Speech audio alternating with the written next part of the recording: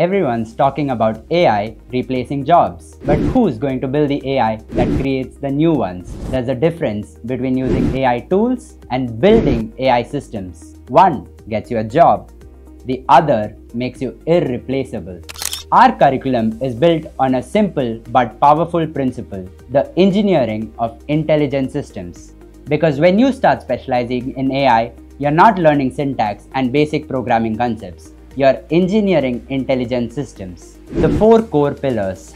Introduction to machine learning and AI. This isn't your typical intro to AI course. We combine rigorous theory with project-driven learning, ethics, interpretability, and deployment skills for real-world impact. You'll understand AI paradigms and their ethical implications.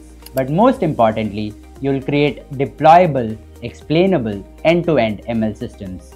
Deep learning. This is where you dive deep into the architecture and training of neural networks. CNNs for computer vision, RNNs for sequential data, and the transformer architecture that's powering everything from ChatGPT to protein folding prediction. Natural language processing, teaching computers to understand and generate human language. You'll work with modern techniques based on word embeddings, transformers, BERT, GPT, and other architectures that are reshaping how we interact with technology. Computer vision.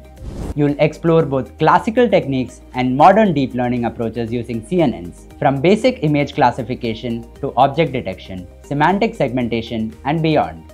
All these might sound like a lot, and they are, but don't worry, you'll have the right kind of mentorship, peer support, and guidance at NST to help you learn and thrive every step of the way.